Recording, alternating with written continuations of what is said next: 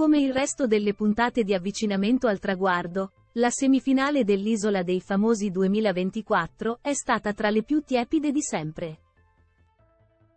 Il merito è condiviso tra cast antidinamiche, eccessi di sorprese e una conduzione a tratti acerba. In ogni caso la penultima puntata di stagione del reality targato Mediaset ha portato in fondo 5 finalisti più uno, Edoardo Stoppa, la contessa Alvina, Arthur Dainese, Edoardo Franco e Aras Senol, ai quali si aggiunge il finalista segreto Samuel Peron. A casa a un passo dalla gloria sono finite fuori dai giochi Matilde Brandi e Karina Sapsai. Passiamo ai voti. Isola dei famosi pagelle della semifinale. Arthur il redivivo. Abbiamo perso il conto delle volte in cui Arthur Dainese è finito in nomination, con relativi salvataggi. Scopriremo poi che è arrivato quota 10. Il pubblico continua a premiarlo e ad avere la peggio è la Valchiria Karina Sapsai. Proprio lui, la vittima di ogni catena di salvataggio, si prende la sua rivincita dopo l'ennesimo settimana da lupo solitario per scelta, strappa il secondo pass per la finalissima e l'ultima collana da leader dell'edizione 2024 dell'Isola dei Famosi meno interessante di sempre. La cricca di Peron, Brandi e Stoppa schiuma di rabbia, mentre lui sfoggia il solito ghigno. Voto 8. RTUR Dainese Isola dei Famosi, l'inspiegabile entusiasmo di Vladimir Luxuria. Vladimir le prova tutte con il suo entusiasmo, ci permettiamo di dire forzato. Continua a ripetere come un mantra ai naufraghi, non date nulla per scontato, alternato a, tutto può succedere. Cosa potrebbe mai succedere di tanto sorprendente? Nulla. Temiamo. Dopo oltre due mesi di supplizio siamo sicuri che la conduttrice esulterà più dei naufraghi alla fine della dieta hondurena.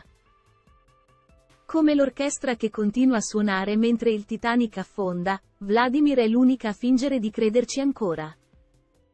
Meritava un'isola migliore, ma ormai è parte della frittata. Voto 5.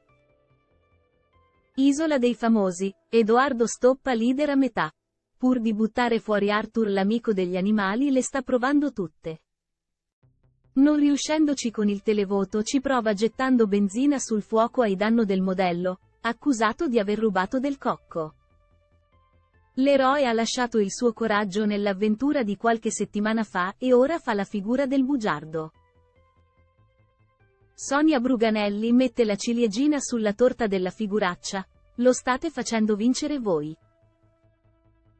E mi stupisco che Arthur sappia usare le telecamere meglio di Edoardo e Samuel, che una storia davanti alle telecamere ce l'hanno.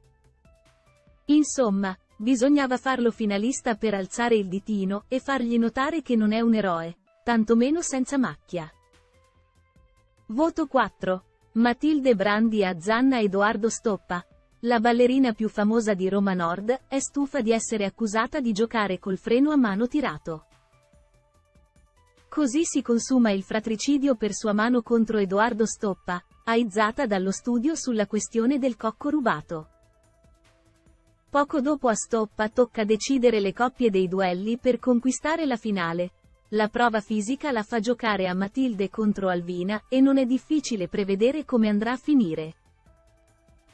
Brandi perde il confronto, ma non perde l'occasione di rincarare la dose somministrata all'ex amico.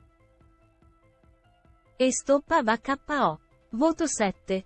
L'insostenibile pesantezza di Peron, non è una novità che Samuel a volte sia un discreto martello pneumatico, ma come per Stoppa è arrivato il momento di fare il pieno di critiche e incassare senza troppi plissé. Del resto, può solo ammettere di essere precisino e pesantone, complice il tempo dilatato dell'isola.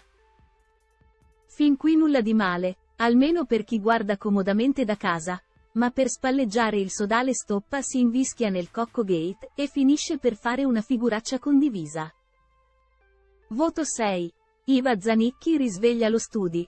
Ad accorrere in soccorso di Samuel, Peron arriva l'ex allieva Iva Zanicchi, che ha avuto a che fare con lui nelle vesti di un severissimo maestro di ballo. Bastano pochi minuti dell'Aquila di Ligonchio col microfono acceso per accendere lo studio e prendersi da sola il titolo di opinionista aggiunta. Del suo partner a Ballando con le stelle dice, Peron è un po' precisino, un professionista. Ho passato con lui due mesi e mi ha torturato, mi faceva fare la dieta.